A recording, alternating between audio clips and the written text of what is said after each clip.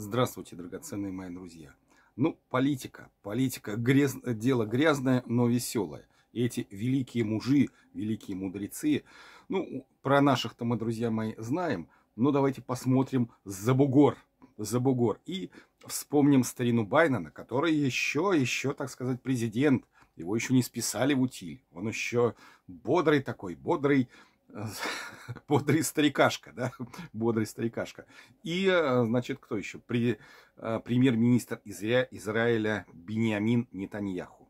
Друзья мои, забавный разговор, который вышел в публичное пространство. В ходе телефонного разговора эм, с премьер-министром Израиля Нетаньяху сказал Байден Джо, Джонни, все он сечет, да, он, так сказать, под дурачка все работает, да, типа здоровается куда-то, все он сечет. И, и Нетаньяху, видимо, думал, что можно ему, так сказать, вешать все, что хочешь. Старику он все равно половину не слышит. Заявил, что не нужно дезинформировать его о положении дел с переговорами по перемирию и освобождению заложников в секторе Газа.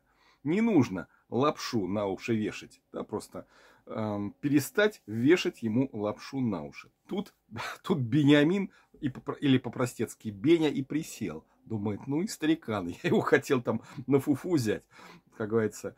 Как помните фильм эм, на Дерибасских это хорошая погода. И там, э, помните, такие персонажи, там, Козюльский, перестаньте, как, не делайте мне мозги, Козюльский. Все эти ваши одесские приколы мне известны.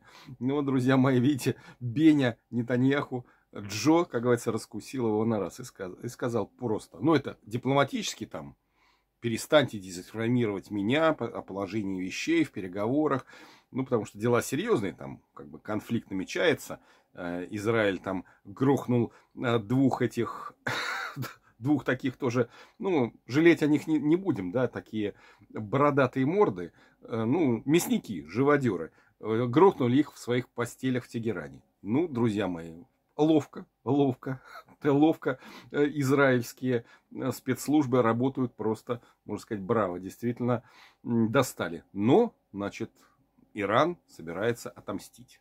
Ну, это их право.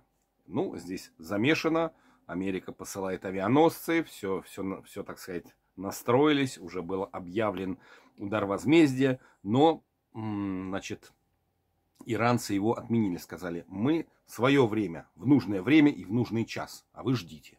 То есть это будет не сегодня, не завтра, а вот когда мы захотим, мы это сделаем, а потом, значит, объявим. Ну, друзья мои, тоже политика дело такое, там, по ним дали, ну, значит, ждите обратку. Как, как и в жизни, да, то есть вы кому-нибудь по морде вырезали, ждите, что или вам, от, это, как говорится, вам, вас где-нибудь подстерегут в темном уголке, либо что-то произойдет, либо там вам сарай спалят, или там машина колеса проткнут. Так что всегда понимайте, что вы кому-то сделали, ждите ответа.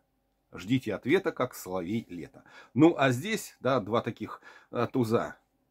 Джо, старина Джо, сонный Джо. Однако Джо не спит, да, старый ковбой не спит. И он, и он слушал, слушал, видно, сказал, Беня, не делай мне мозги. Это как эти ваши еврейские приколы, меня, меня, меня не проведешь, я, мне, я все знаю. Я все знаю, у меня тоже везде свои глаза и уши. Твои мне докладывают раньше, чем тебе. Ну, в общем, друзья мои, забавно. Ну, что ответил Бениамин? Наверное, засуетился. Беня там вы не так меня поняли, я не то имел в виду, там, я вам все объясню. Ну, в общем, как говорится, задом закрутил, засуетился. Ну, посмотрим, посмотрим, друзья мои. На самом деле, в политике, друзья мои, такие же люди. Вот посмотрите на своего какого-нибудь соседа толстопуза, который пивас пьет, или на какую-нибудь старушку такую там, которая там ходит, зырит везде. Поймите, что, в общем-то, такие же морды сидят там. Ну, просто они, э, ну, как бы важности себя давят. На самом деле, те же, только в профи. Все, драго, драгоценные мои друзья, пока счастливо.